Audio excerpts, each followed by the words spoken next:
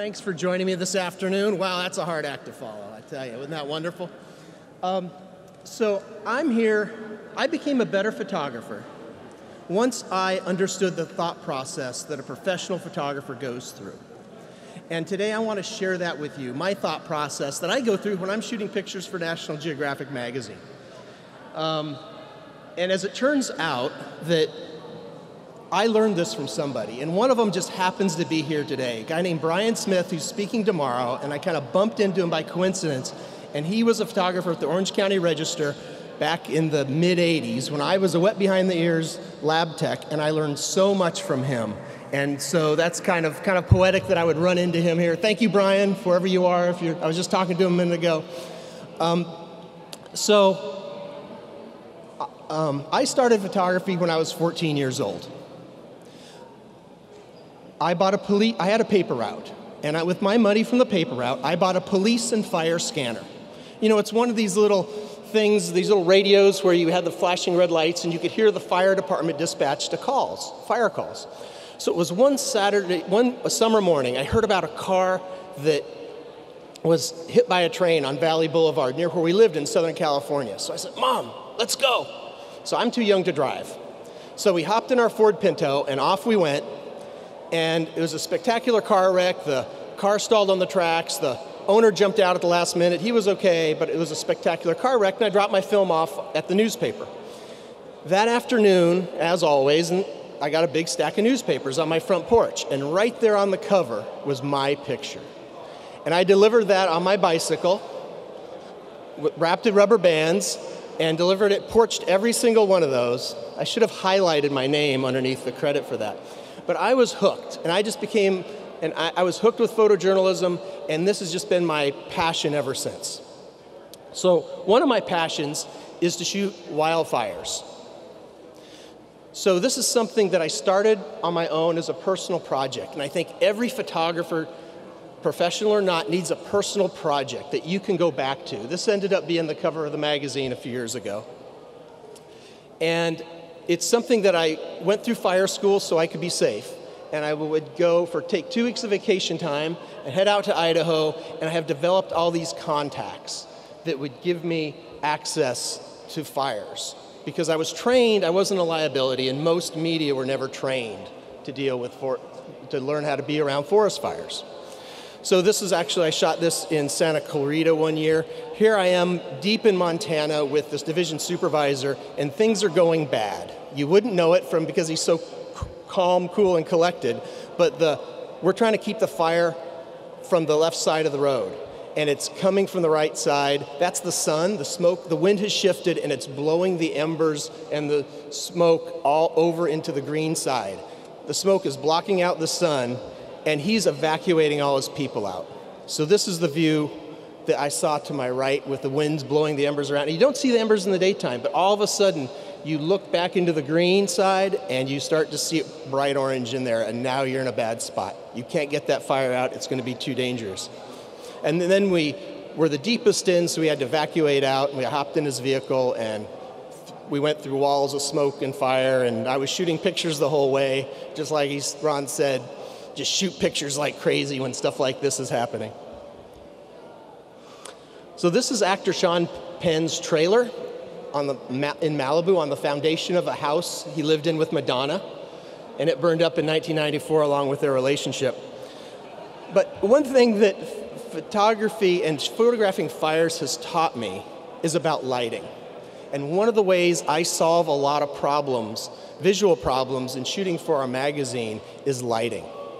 And this is shot in the daytime. This is up in the mountains of Southern California and the big black smoke column has blocked out the sun.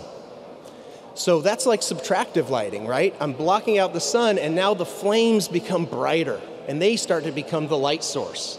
And that's what I love. I love it when I have a light source in a picture. And it, it, it taught me about how, when I do light things, turn off the lights, go put someone in the shade, do something like that, and I'll show you more of that later. This is a house in the very early stages of burning down. This is in a little neighborhood near Running Springs. Everyone's been evacuated. I'm the only person in there. And This is the Santa Ana winds that you hear about, where it's 100 degree temperatures, uh, single digit humidities, and it's 40, 50 miles an hour. And these embers have been blown from another home that's been burning down and landing on these dry pine needles on this deck. And that's how these homes burn down. It's a little tiny fire like this. And this is the same angle the next day. Now, what do you see out there? What do you see in those trees? There's still leaves in these trees. It's supposed to be a forest fire. What's happening? Well, these houses catch each other on fire and they set off all these embers with this wind that catch other houses on fire. And they're more, the houses are more flammable than the trees. So here it is again for those in case you want to compare a feature in the photo. And you can see that one tree is just scorched from the heat of that house burning down. So fire at night is wonderful because there's no sun. So this guy's doing a backfire at night. A backfire is where you have start with an anchor point like a river or a road, and you set fire to all the unburdened vegetation between that anchor point and the advancing fire. And that way you have fire going away from you. That advancing fire through convection and all the heat coming up will suck in that fire and now you've got fire going away from you and it's more controlled and you're burning you're widening out that fire break essentially so for this i wanted it lit by the, by the fire but I'm, i've got a strobe going off. I've got I, I have my strobe dialed down to minus three on my flash. So it's just kicking in a little bit and if you're and if you can see there's a little bit of highlights off the buckles off of his off of his uh, harness there and i put a little warming gel on it it's like a, half tungsten warming gel on the strobe so that it kind of matches the, the light from the fire, which is very warm. So I'm, I'm going through this forest fire at night, and this is my thought process that I'm going through, which is very different than the thought process that this guy is going through. But this is how I'm able to make these pictures. So, one of the great things working at National Geographic is that if you have an idea and they kind of halfway believe in it, they will buy into it and fund it. So through my fire experiences, we came up with FireCam. So this is a fire protective housing. One of those ports is for a strobe and another or uh, for a camera and another one's for a high HD video camera. So here's a picture from it. This is a fire in the Northwest Territories, a crown fire, and you can't see this any other way but from a remote camera that can survive this fire. And here is a video from that fire. Whoops. That playing? So, first of all, this is not speeded up. This is a video uh, from one of those video, from a video camera that was in our fire cam. And what you're seeing here is the smoke, the fire's coming from behind us. And that big black smoke column is blocking out the sun. And ahead of it it's throwing embers, and this is how fire burns. It throws these embers out ahead of itself that preheats the ground. So now the fire's coming from behind us and preheating this green vegetation. And then as the heat goes up, you know, you heard about fires creating their own wind? There you get this push of as that air goes up, cooler air on the ground needs to replace it and that's what helps keep push the fire along. And you can't see that any other way. This is not speeded up. This is real time. So you can see that if you're in a house and you're saying, I'm not going to evacuate my house, there's this fire coming, by the time you see this, it's too late. And you can see how it just, just this is only this clip is only about a minute and a half, but it, you can see just how drastically it changes the landscape. And this is what fire's been doing for the last 10,000 years in the American West and in, in North America. All right, enough fire. Um, so I'm a bit of a Swiss Army knife at National Geographic. Uh, this is another assignment I had. You might have heard about James Cameron, the filmmaker, who built a submarine to go down to the bottom of the Mariana Trench. So that was my assignment. For it was supposed to be three weeks. It ended up being two months, extended one week at a time on this ship. So this is his sub coming back at night um, with the lights of the, sh- of the ship coming to pull it out of the water. Here's Jim inside the submarine. This is a four foot diameter sphere loaded with equipment and, and, and electronics that are very hot. And he's six foot four, so he gets kind of shoehorned into this thing. And then it sits vertically in the water column, unlike any other submarine you've ever seen, so that it can go down very quickly. And then he motors around the bottom like this, and then he can come up very quickly. That pressure sphere is in the bottom part, the very bottom part of this. The rest of it is full of a special foam that won't compress at depth. He, he goes down with weights, the weights are dropped, and then he comes back up. And there's the big hero shot that uh, I, I, did of Jim with the whole classic National Geographic Explorer project. So now I want to show you a little sneak peek at what I, a story I shot that is going to be in next month's edition of National Geographic. This is going to be in the July issue, and it's a story on human performance. So this is Michael Andrew. He's the next Michael Phelps in swimming. And he's just turned 18, and his dad is his coach, he's homeschooled, and he has a two lane covered swimming pool in his backyard. And he lives in Lawrence, Kansas. So I went to his place to shoot this picture, and I'm like, okay, so I'm gonna do some portraits of him, but what am I gonna do in his pool? How am I gonna? So this is a spread. I should explain this. Um, so what you're seeing there is actually the gutter is where the, the white page on the left matches him, and then it's actually a gatefold, so it folds out, and this is what you would see on the inside.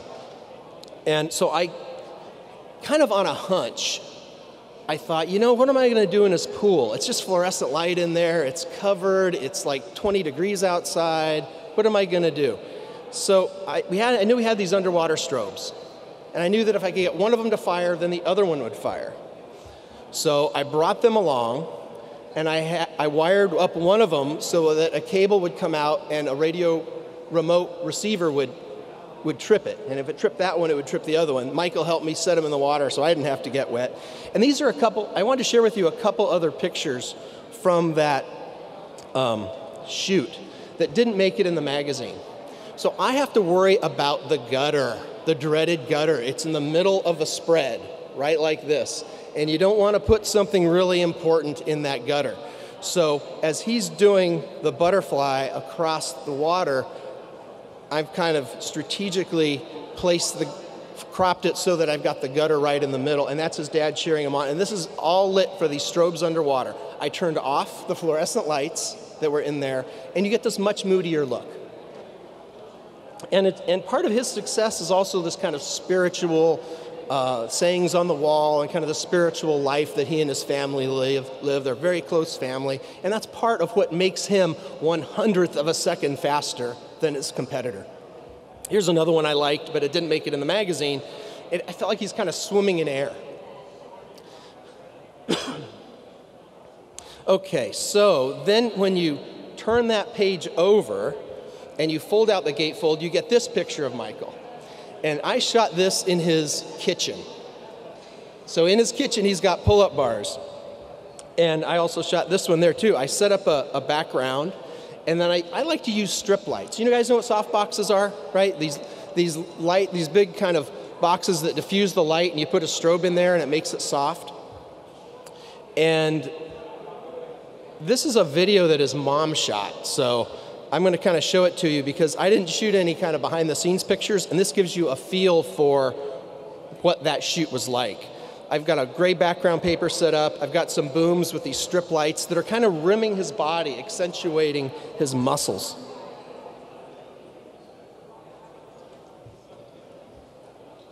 So he's got this pull up bar in his kitchen. So, I, and one of the things they wanted were a lot of kind of beautiful body pictures of these athletes for this story.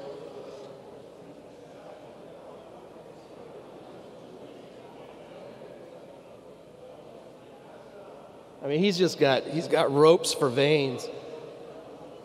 And I had to do a little selfie with him. And then I had lunch just out in his kitchen with the, the background paper and the background, the lights and everything. So that's what that's the best part of my, my job it's not so much making the pictures for the magazine, it's the people I get to meet along the way. That's the best part of what I do. Everything from people like Michael Andrew and his family and these wildland firefighters. So we went out to his pool, and that's where I shot those other pictures, and I shot this of him on his starting block. So this looks pretty straightforward until you see the setup. So we're at the edge of his pool. He has kept the pool cover on. We pulled the background down and tore it. The light you see here is on a boom extended over the water, and anytime you have electricity and strobes around a pool, you're in a kind of a dangerous situation. I don't want to be the guy that electrocutes Michael Andrew, right? He's going to be the big thing in 2020. And then the, I've got another strip light with his mom, and, she, and it was too close if it was just freestanding. It was in the shot. So she pulled it back and just held it there. So many times when I'm setting up these shots, I'm working at the edge of my, my platform or lighting or anything like that. Okay, so this is Usain. This is another spread. Usain Bolt's shoe when he became the world's fastest man. But what I want to talk about is this other picture on the right. Um, this is this $500 swimsuit that Olympians use. They have a different style suit for each event. Breaststroke is different than freestyle. And you can wear it about three times and that's it. And so we were trying to figure out how we were going to shoot this. We were going to like suspend it from a rod and then have water dripping off of it. But the problem is when this is just sitting there, it curls up and it does it just looks like a wash rag. So we thought, we'll just try and see what happens if we set it in a tray of water.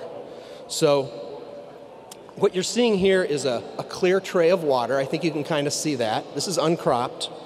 And I put some black felt in the bottom of it and then filled it full of water and the bathing suit is floating in it. And what you see reflected in the water is a big softbox we have in our studio in Washington, D.C. It's about four feet by eight feet. And the strobe is in there reflecting, and that's what you see. There is a tear in the inner diffusion material up there on the right, and it's like, oh, that looks horrible. What am I going to do? Well, what if I just shake the water and now the tear goes away? And maybe it actually helps. There's a bit of a highlight there. And then I also set my camera onto tungsten white balance because blue says more about water than gray does. And then I shook it and shook it and shook it and shot a whole bunch of pictures, and they ended up finding one they liked. So, continuing with this human performance story, this is CJ Cummings. He can lift 450 pounds above his head. And he broke that record when he was 14. He's now 17. And it's the way his body is built that he has optimized for doing this kind of stuff. So I went down to this dingy gym in North Carolina, and I have it backlit with two spotlights. So if I'm him, I've got a light up there, kind of like that one, a light up here, kind of like this one. They're strobes, and then I've got one overhead. So I shoot this. This is the spread. This is what ends up in the magazine. But the, the key thing here is that I didn't stop there. I thought, okay, this is good, but I'm going to try a different angle. And I got this, and I like this better. This is not in the magazine. But what I did was turned off that light that was on the side, the light that was over there by where it says hook grip. I just turned it off. So I'm only using two lights, and now it's just more dramatic. There's this nice shadow that you can see against the wall of him. There's good spot for the gutter. They didn't like it. But these are some test shots. What I'm going to show you now are test shots that I did leading up to that. So the trick was, as he does this clean and jerk move, at some point he covers the light and these are just some test shots that i did to see exactly when that is so that i could position myself and then shoot that horizontal shot right when he was at the right right when he is at the right spot. Um, okay so now i want to show you a, a, a way to make one of the things i do a lot at national geographic is making something out of nothing. And this is a, just a little bit of a buildup of a lighting, ambient lighting, strobe lighting demo that I did. So this is Becky Hale, another fantastic photographer we have at National Geographic who works in the studio with me sometimes. And this is our back alley. It's a very mundane scene, right? So I'm gonna just bear with me here. So here's a picture of Becky, and all I did was put her in the shade and expose for the background. Okay, so she's basically a silhouette. And what I have in bold is what I have done. What I've on the right side, you're going to see what I've done, and in bold will be what the changes from the previous picture. So then I put my flash on my camera, and I got this. This is about what you would get, isn't it? If you went and did something like this, right? We filled in the shadows, but it's very harsh and not very interesting. So then I took my flash off my camera and I set it to the side. So what I'm, I'm using a speed light just like this one, one that you're just very familiar with. And I have it on a radio remote. Um, and then I also put it in a little softbox to soften the light. Eh, not so bad. It's getting better, it's getting better. Then I took a tungsten gel, a full tungsten gel that converts my daylight strobe to tungsten and warms it up. So tungsten are like these warm lights we have around here. And it's, it, so, okay, I'm warming her up. It's looking pleasing. It's soft light. It's, it's not the same direction as the camera. And then I changed my white balance of my camera to tungsten. You see these kind of like stupid camera tricks that I'm doing here? These kind of camera gymnastics. So now the background is turning blue because I'm using tungsten white balance, but the light falling on Becky is neutral because I'm, my white balance is balanced for that strobe that I've got the tungsten gel on. Okay, that's not bad. Now, what if I pick a faster shutter speed? Where my shutter speed is two stops underexposed for the background. So now the background gets darker and a bit more dramatic, less distracting. So there's everything. So now I'm my background, I'm underexposing my background by two stops. I'm using my flash off the camera. I've got a soft box, I've got a tungsten gel, and I'm a, and I'm at tungsten white balance. So those, those two bottom ones are neutralizing each other out. Well, I want to warm it up a little bit more. So I've added a half tungsten gel on top of that.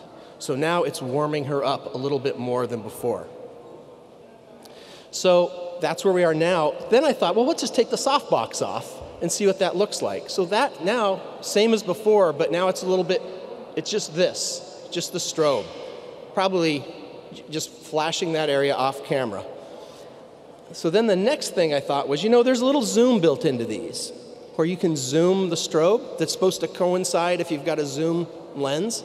So I zoomed the strobe to maybe 135 or 200, I'm not quite sure. And then I shot that. So now there's this little halo of light coming in. It's more directed. So here's where we started. And here's what we ended up with. We might have, you might say we started with that. And it's not a lot of equipment, it's just, but it's just a lot of know how. And in this digital world, you can experiment with these things and work them and work them and work them until you get something that you like. So this is just a very common subject matter in a very common place where I've used a little bit of know-how to make kind of a dramatic picture, portrait situation. So I take this out into the field with fires. So I'm out there in Northern California near Hayfork uh, a couple years ago, and I'm bringing with me a softbox and that's got a couple of these in it, battery operated, light stand, and this is day 21 for this crew from Salt Lake City. 21 days in a row working on fire. Haven't had a shower since they left home.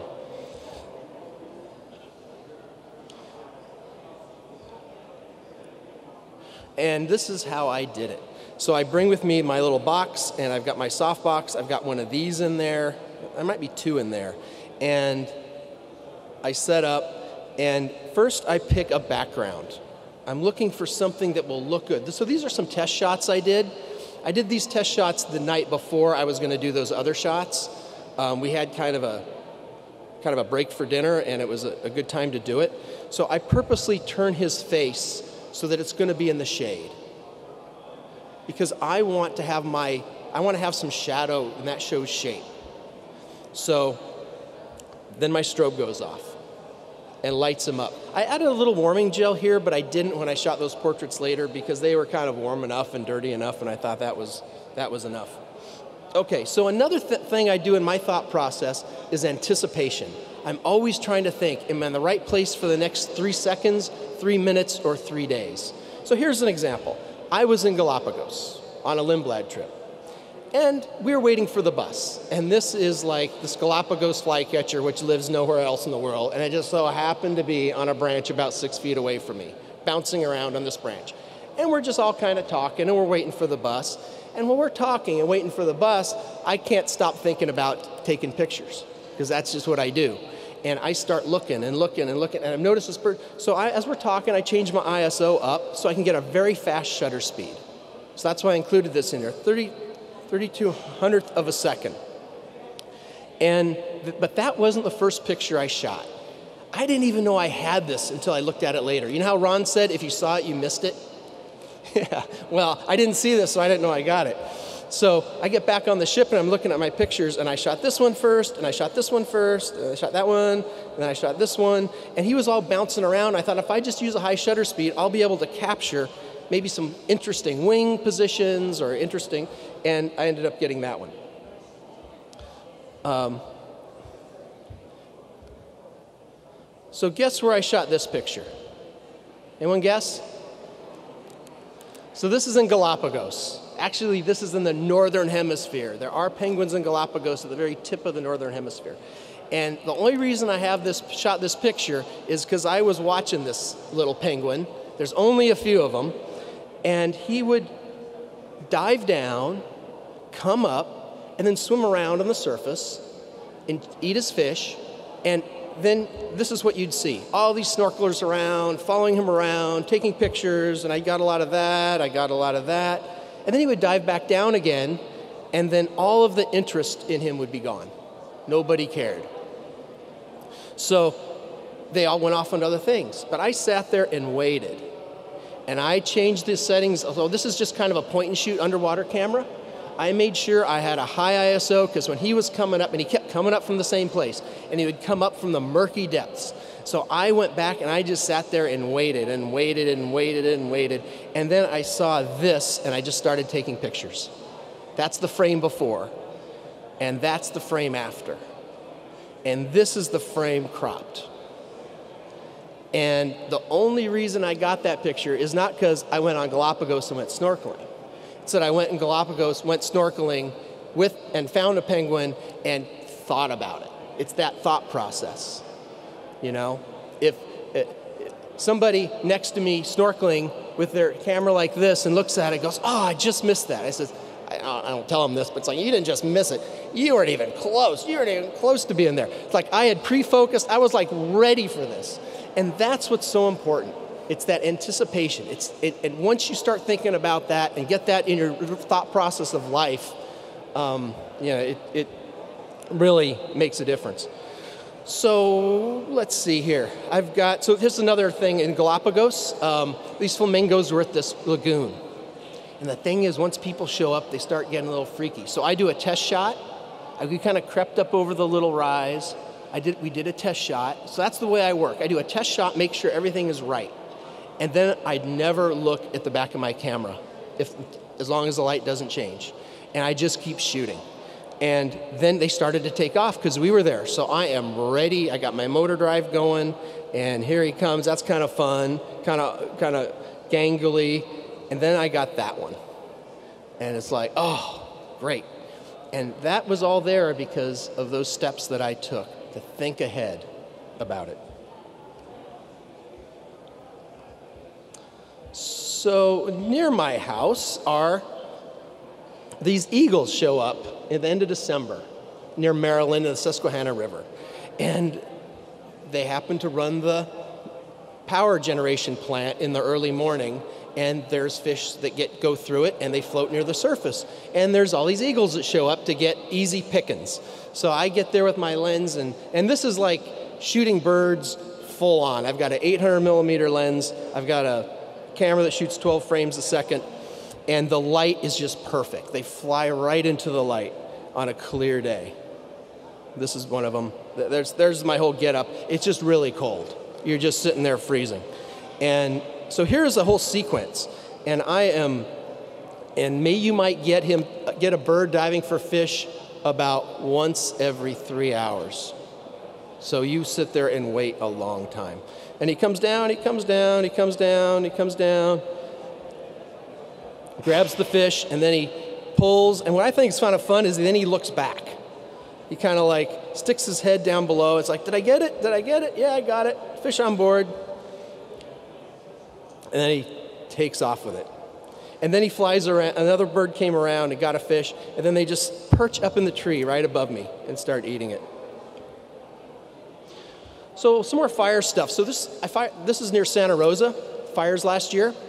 And it's it, this is the lighting situation is horrible. The sun's going down through, and, and, and there are these light rays of smoke that are kind of interesting, but everybody's a silhouette. So I put on my flash and I pick a slow shutter speed so I can kind of capture some of that action and that motion that you see. So I'm kind of fill flashing with a little bit of slower shutter speed, and and that really seemed to help. The problem is I always have to wait for them to turn around, and it's always a dance It's always a dance. So this is something that actually was not processed much. And I'm always looking for these light ray pictures. So I'm here I am just laying down in the ashes as a firefighter is coming by, mopping up, um, putting line in, and, and then and the wind is blowing left and right. So you just got to sit there and wait it out. I waited about 10 minutes and had a whole bunch of pictures that weren't any good, and finally I got this one.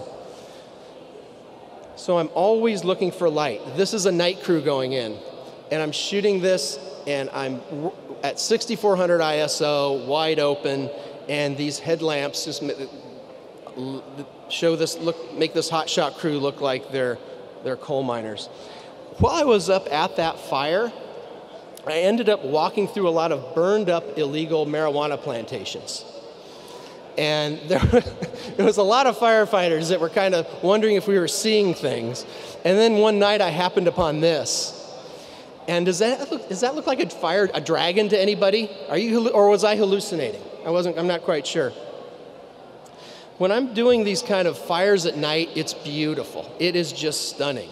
You ca- I'm able to capture these, um, you know, big scenes if I can back up far enough and, and get the crews lighting stuff. I'm shooting at high ISOs, and I'm exposing for the shadows. So I'm not exposing for the flames. I like the flames to be white hot. I don't need to see the details in the flames, but I want to see what the flames are illuminating. It doesn't look like this to your naked eye when you're there. It's actually much darker. But I'm, in a sense, overexposing from what my meter is telling me so that I can capture what the camera is, what, what's going on in the shady side of things. If I was going to use the exposure that my camera said, you wouldn't even see his face here. He'd be a silhouette.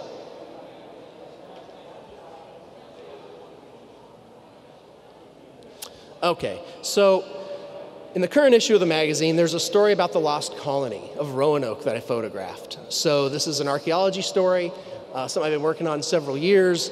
Um, you might, the, the short story is in 1585, a bunch of um, colonists came over from England and ended up in Roanoke down by the Outer Banks of North Carolina, and they were having a hard go at, at, at they ran out of stores, or they landed in a place where there was an Indian war going on, and after about three months, they sent their main guy back to England to get more supplies. So John White goes back to England. He can't come back because of the Spanish Armada. He can't come back for three years. He comes, finally comes back, and everybody's gone. Nobody knows what happened to him. Were they killed by the Indians? Did they just die on their own? Did they intermix with the Native Americans, or did they go up to Jamestown where a colony was starting? So this is a reproduction of that ship, and shot this from a helicopter when that super moon was happening. This was a rainy day. It rained all day. We weren't even going to fly but and the ship once a year makes an overnight trip to Bath, and then it turns around and comes back two days later. So I had one chance to get a picture of it sailing, because otherwise it's tied up at a dock at kind of a historical park. So we wanted to get something that showed it sailing. So it just rained and rained, We got, I got in the helicopter anyway. We could, oh, we've calculated because the helicopter couldn't fly at night, we only had about 10 minutes on where the, when we met the helicopter because the helicopter was so far away where we could I could photograph the helicopter. And it turns out the skies parted and I got this gorgeous sunset of the, of the ship. And it kind of gives me this feel of kind of going off into a new world. And we would have never got this picture if we were sitting back in Manteo at the airport saying, oh, it's going to rain, it's, it's raining, we're not going to get a picture. You got to try.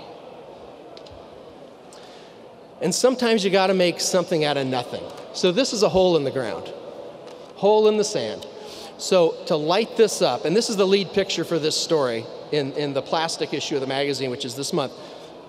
I've got a tall light stand on the left, a super tall light stand, and I've got a boom, and I've got one of these strobes with a blue strobe on it, shining straight down. And then in the background ahead of me, I've got one of these strobes on a light stand shining towards me. And then I've got another one off to the right, kind of with a spot kind of hitting the hit, hitting those trunks of the tree. And we needed to do something because this was a story that was really hard visually. This is what the normally looks like. This is just a picture of the Indian midden. So what they were doing was looking for artifacts in this, this trash layer from the 1600s, early 1600s. A lot of dig pictures. But what I wanted to show you is how I made all these artifacts, this was the largest artifact we found. Most of them were the size of my thumbnail. And the trick there is to light that, this is too big. The source is too big. I needed a small source. And so what I came up with was this. This is a fiber optic. Inside here is a fiber optic. I've shrouded it in this kind of articulated plastic material just so that it will stay in a, in a position. And this is my light source. It's about as the thick of a pencil eraser. And what I can do is, it's just a little bit of light, but it's very concentrated, and I can move it very close. And here's a picture I shot of that setup it's just putting this little tiny pool of light. And sometimes I would take black wrap and wrap it around there. And there's more than enough power that comes out of this little guy. And here's a looser shot of the setup. So let me just walk you through this. You see where the camera lens is. The camera I'm using to take this picture was attached to that camera lens. So there's, it's a 180 millimeter, 200 millimeter macro lens. I've got a little bit of a shader on there that big piece of formica that's attached to that, that's taking, that's blocking out the sun. So I'm making my own shade so that doesn't contaminate my image. So I'm making it dark. And then I've got one strobe, as you can tell, attached to this guy that is putting this little bit of concentrated light just where I need it. And then I've got another strobe, just like it, but with this little sock. So that's like a little softbox. So everything is proportional. I've made a studio, a miniature studio, proportional to the size of the artifact. There's another picture that kind of shows what's going on here. So this is an important artifact.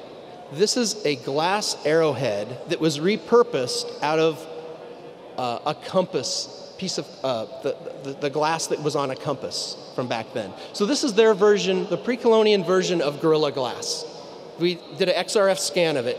And you know, Gorilla Glass is this, this glass that's really strong and thin on our phone. And back then, there wasn't a lot of that. And, they, and when they were able to make that, they used it to go on scientific instruments like this compass. So this is the size of my little fingernail.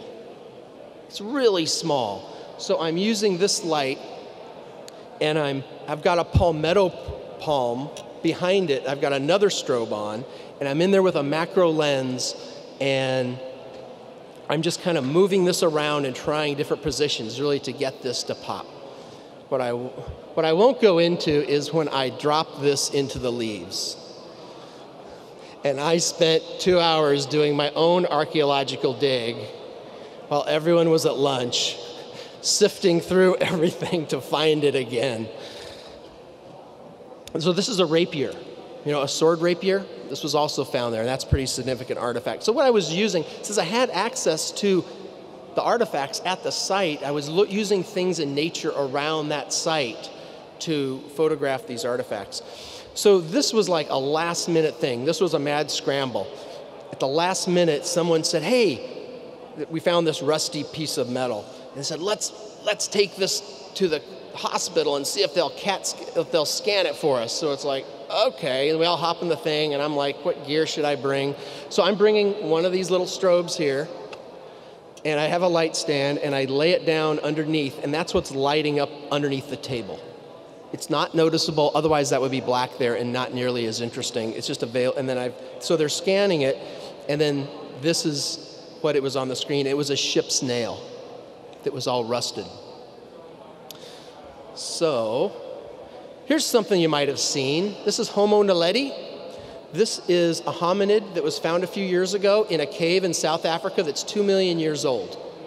And this is a fleshed out version of that. They a guy named John Gurche. He is brilliant. He took the skull, he adds musculature and tendons to it, to, to a, a cast of the skull, and then he fleshes it out. He adds each hair one at a time. And he paints it, he even makes the eyeballs. It's like a five month process. It's amazing.